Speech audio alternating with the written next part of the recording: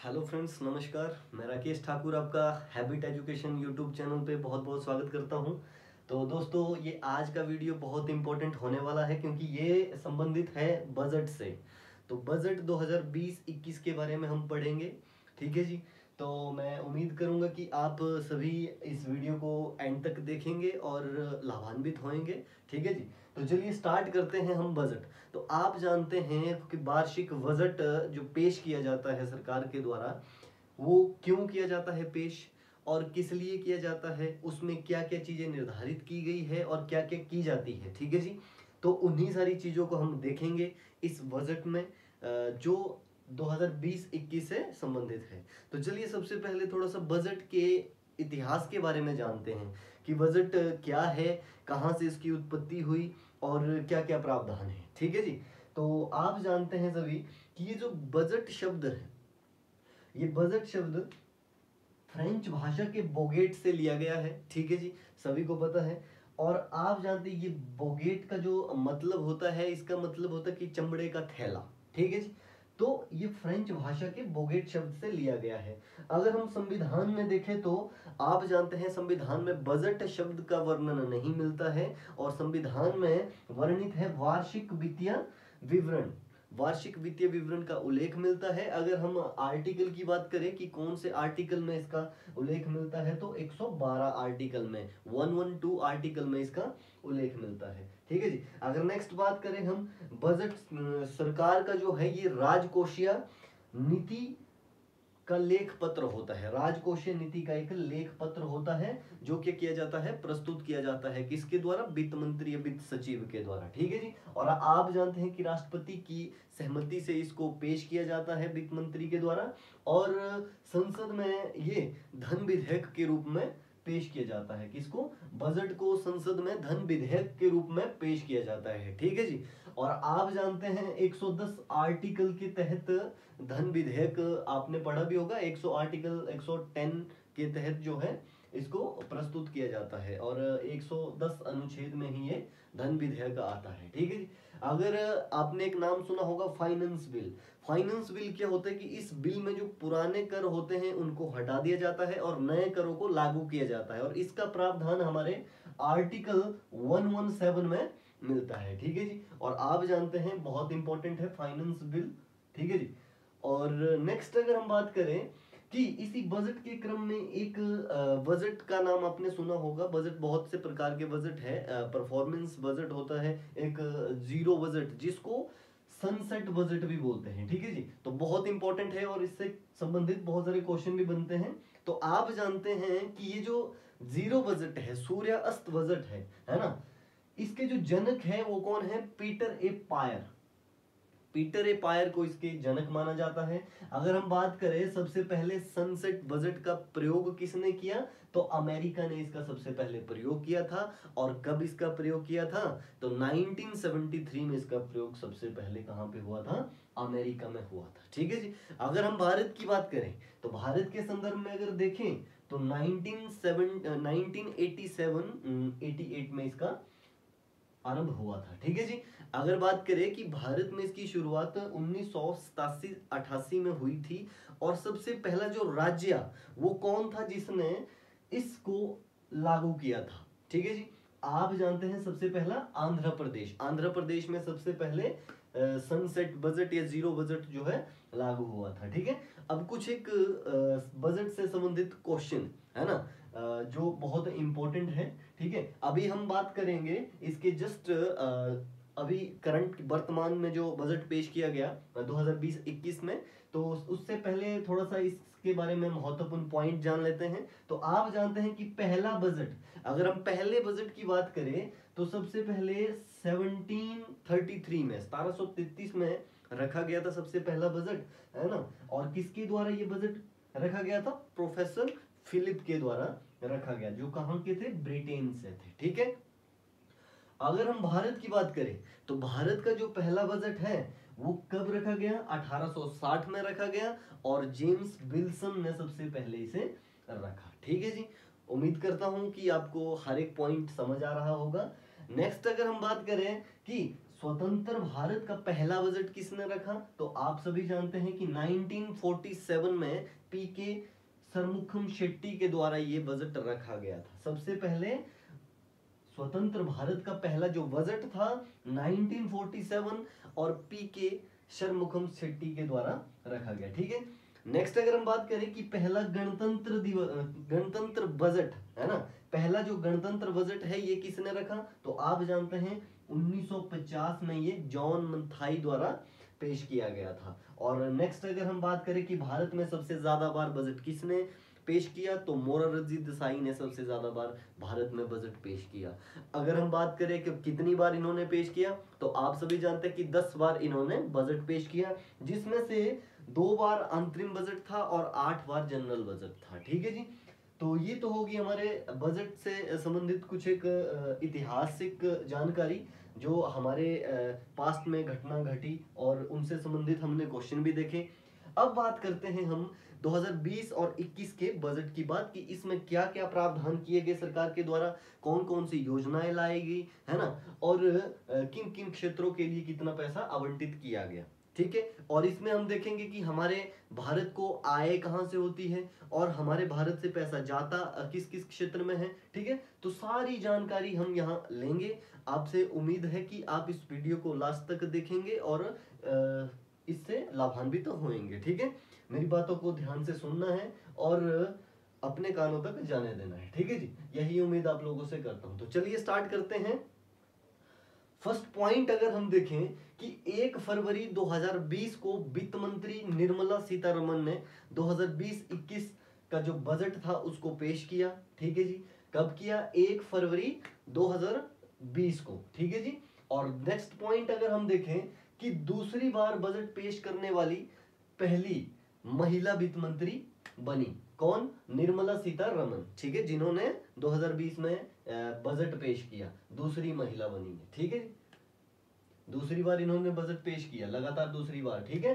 Next अगर हम point की बात करें कि बजट 2020-21 पेश करते समय निर्मला सीतारमन ने तमिल कवि तिरुवल्लूर की कविता सुनाई, ठीक है? वेरी मोस्ट इंपोर्टेंट तमिल कवि तिरुवल्लूर की कविता इन्होंने सुनाई। नेक्स्ट अगर हम बात करें पॉइंट की तो इन्होंने भारतीय इतिहास का सबसे लंबा बजट भाषण दिया, जो कितने टाइम का था? दो घंटे चालीस मिनट का। ठीक है? वेरी इंपॉर्टेंट नेक्स्ट पॉइंट की हम बात करें बजट में तो आप जानते हैं इन्होंने किसका रिकॉर्ड तोड़ा, जो दो घंटे चालीस मिनट इन्होंने भाषण दिया बजट पे। तो इससे पहले का जो रिकॉर्ड था, वो था जसवंत सिंह का।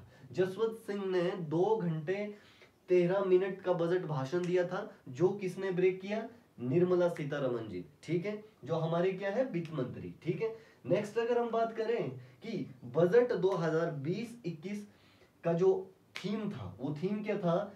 इजी ऑफ़ लिविंग जीवन यापन में आसानी पर यह बजट आधारित था। ठीक है? अगर नेक्स्ट बात करें हम कि इस बजट में तीन चीज़ों पर विशेष ध्यान दिया गया।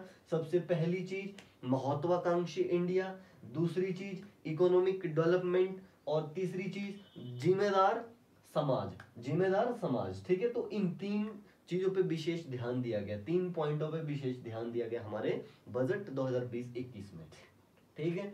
नेक्स्ट अगर देखें हम कि वित्त वर्ष 2020-21 के लिए आर्थिक विकास की जो दर है, वो 10 परसेंट रहने का अनुमान है, ठीक है? जो 20-21 की आर्थिक विकास दर है, वो टेन परसेंट रहने का अनुमान है, ठीक है? अगर नेक्स्ट पॉइंट में देखें कि जो वित्तीय वर्ष 2020-21 में जीडीपी है, इसमें 6.5 की वृद्धि का अनुमान है 6.5 की वृद्धि का अनुमान लगाया गया है। अगर नेक्स्ट हम बात करें बजट में कि बजट 2020-21 के अनुसार भारत की अर्थव्यवस्था, दुनिया की पांचवी अर्थव्यवस्था बनी है, ठीक है ना?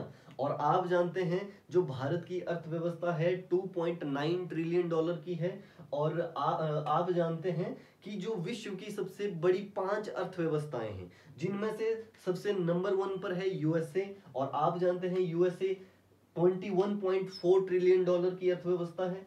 दूसरी अगर बात करें चाइना की तो चाइना आप जानते हैं 14.1 ट्रिलियन डॉलर और जापान की 5.2 ट्रिलियन डॉलर और जर्मनी की बात करें तो 3.9 ट्रिलियन डॉलर। अगर हम भारत की बात करें तो 2.9 ट्रिलियन डॉलर की अर्थव्यवस्था है। ठीक है जी? नेक्स्ट अगर बात करें कि भारत ने भारत ने 2025 तक अपनी अर्थव्यवस्था को पाँच ट्रिलियन डॉलर बनाने का लक्ष्य रखा हुआ है। ठीक है? कब तक? 2025 तक। ठीक है? नेक्स्ट अगर हम पॉइंट की बात करें तो आप जानते हैं कि बजट 2021 में इंजीनियरों को रोज़गार देने के लिए, रोज़गार देने के लिए एक साल की ट्रेनिंग और इंटर्नशिप दिलवाने का प्रस्ताव भी इस बजट में रखा गया है, ठीक है? कि इंजीनियरों को एक साल की ट्रेनिंग और इंटर्नशिप दिलाने का प्रस्ताव भी इसमें रखा गया इस बजट में 2020-21 नेक्स्ट अगर पॉइंट की बात करें कि 20-21 बजट के में सरकार ने LIC इंश्योरेंस कंपनी की हिस्सेदारी बेचने की घोषणा की है, ठीक है? एलआईसी लाइफ इंश्योरेंस कंपनी की जो हिस्सेदारी है, उसको बेचने की घोषणा की है 2020-21 के बजट में।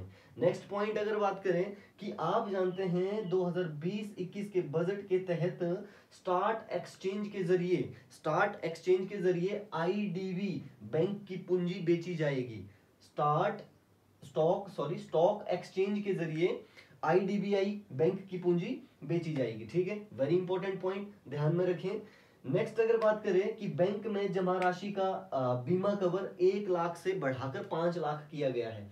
बैंक में जमा राशि का जो बीमा कवर है, एक लाख से बढ़ाकर इसको पाँच लाख कर दिया गया है। अगर हम नेक्स्ट इस बजट में पॉइंट की बात करें तो आप जानते हैं कि इस बजट में पाँच नई स्मार्ट सिटी बनाने का प्रस्ताव आया, ठीक है जी?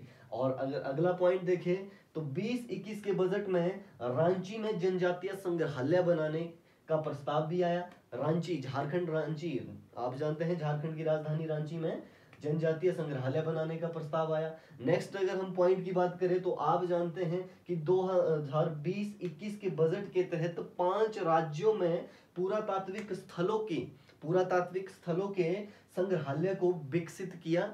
जाएगा। और आप जानते हैं ये पाँच राज्य कौन कौन से हैं, कहाँ कहाँ पर किया जाएगा पुरातात्विक संग्रहालय को विकसित? तो सबसे पहला है हरियाणा, दूसरे नंबर पे यूपी, तीसरे नंबर पे असम और चौथा गुजरात और पांचवा तमिलनाडु। तो इन पाँच राज्यों में संग्रहालय को विकसित किया जाएगा। अगर हम नेक्स्ट बात करें तो आप जानते हैं बजट 2020-21 के तहत Delhi Mumbai express expressway का काम जो है 2023 तक पूरा करने की बात कही है कि 2020-21 में जो दिल्ली टू मुंबई एक्सप्रेसवे है, उसका काम 2023 तक पूरा हो जाएगा। ये बात 2020-21 के बजट में की गई है। ठीक है जी? नेक्स्ट अगर हम पॉइंट की बात करें तो आप जानते हैं कि 2025 तक 100 नए एयरपोर्ट शुरू करने की घोषणा की है। इस बजट में 2025 तक 100 नए एयरपोर्ट शुरू करने की घोषणा की है 2020-21 के बजट के तहत और आप जानते हैं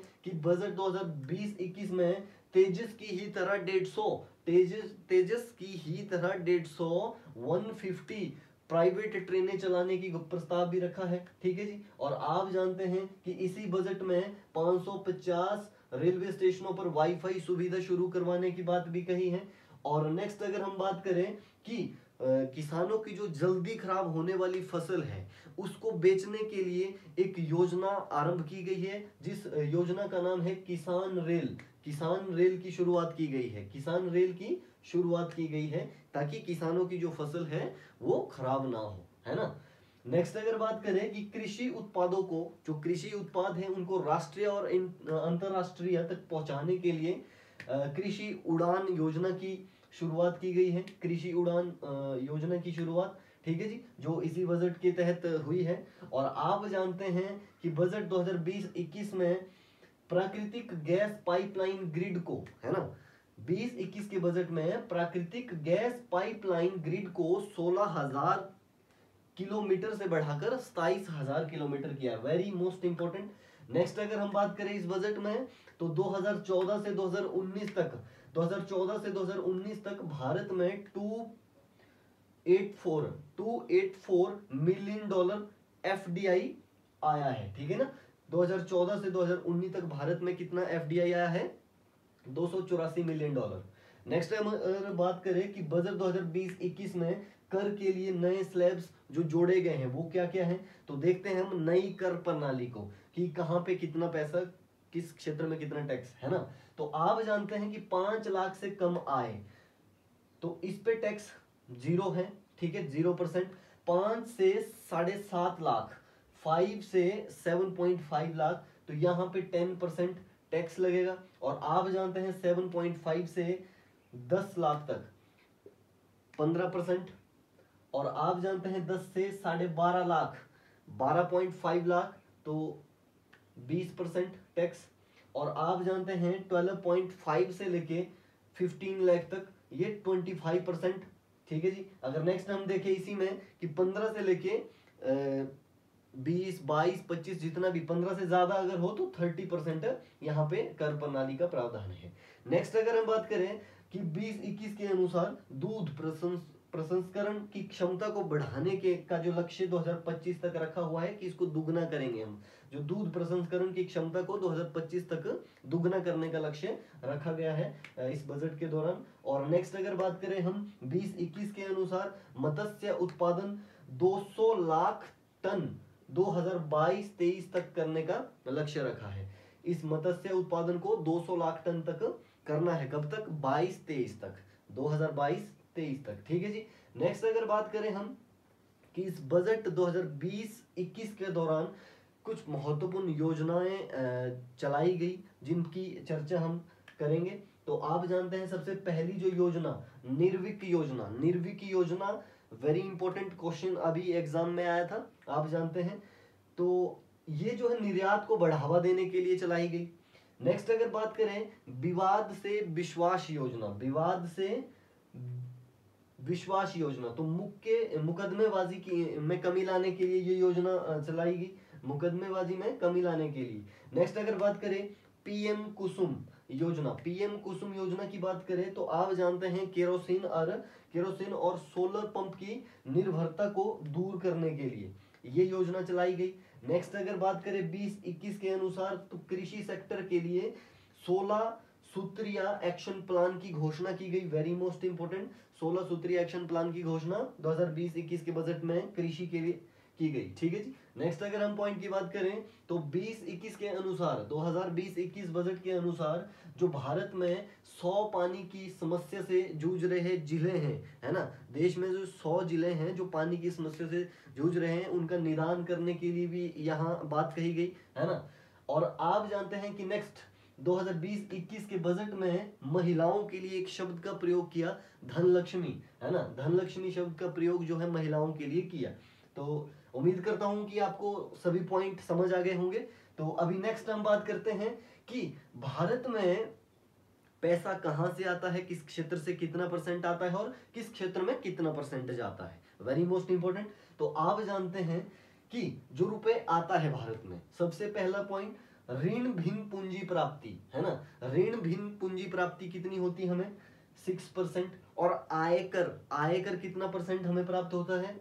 सेवनटीन परसेंट और आप जानते हैं केंद्रीय उत्पादन शुल्क से हमें कितनी प्राप्ति होती है?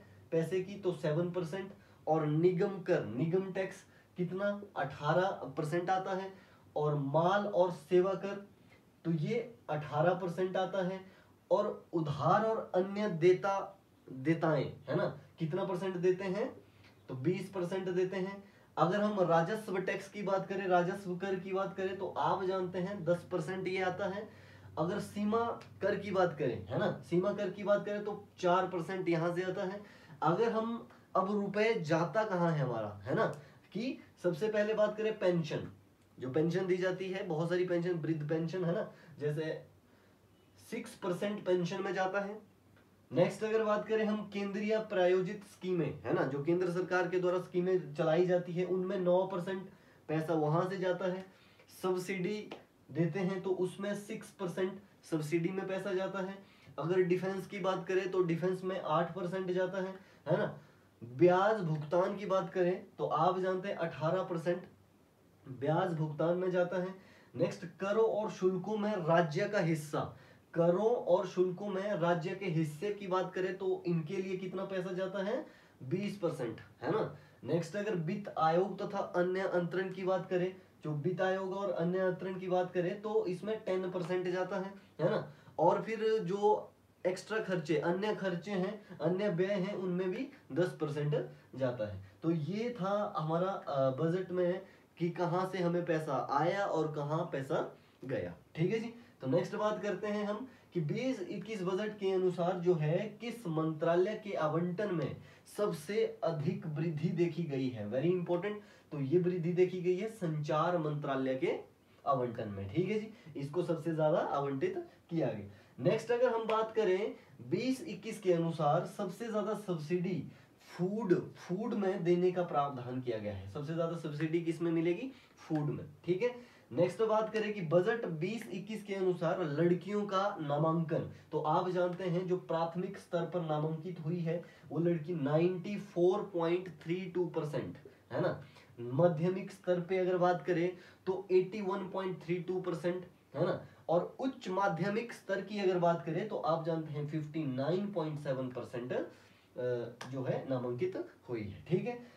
तो नेक्स्ट अगर बात करें हम 2020-21 में डिवाइडेड डिस्ट्रीब्यूशन टैक्स को जो है खत्म कर दिया। डिवाइडेड डिस्ट्रीब्यूशन टैक्स जो है समाप्त कर दिया। वेरी इंपॉर्टेंट नेक्स्ट देखें कि बजट 2020-21 के अनुसार बागवानी को प्रोत्साहन करने के लिए सरकार ने वन प्रोडक्ट वन डिस्ट्रिक्ट का समर्थन किया है। ठीक है जी? वन प्रोडक्ट वन डिस्ट्रिक्ट का समर्थन सरकार के द्वारा किया है।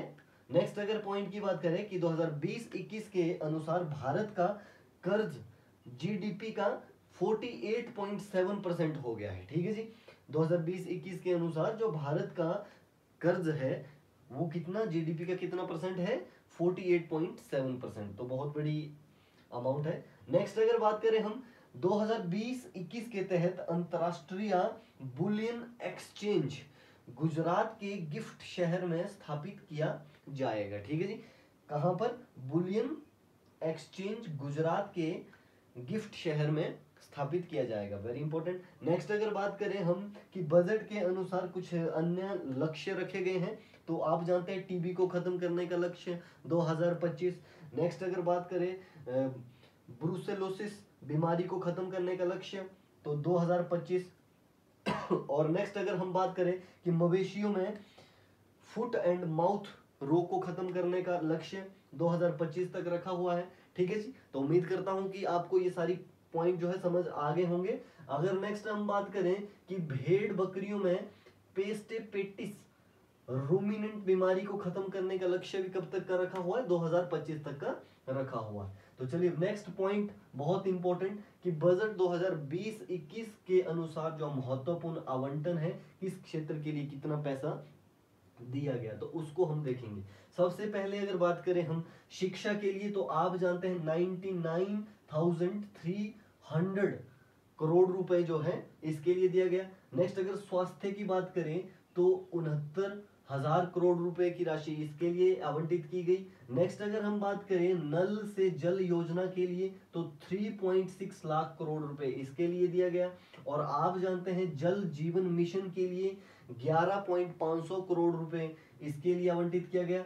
अगर हम नेक्स्ट पॉइंट की बात करें कि नवीकरणीय ऊर्जा क्षेत्र के लिए बीस हज़ार करोड़ रुपए की राशि का प्रावधान है। नेक्स्ट अगर हम बात करें कि वायु प्रदूषण के निवारण के लिए ये 4400 करोड़ का आवंटन है। नेक्स्ट अगर हम देखें कि स्वच्छ भारत मिशन के लिए तो आप जानते हैं बारह हज़ार तीन सौ करोड़ रुपए का प्रावधान है। नेक्स्ट अगर हम कौशल विकास के लिए देखें तो आपको पता है तीन हज़ार करोड़ रुपए की राशि इसके लिए रखी गई है।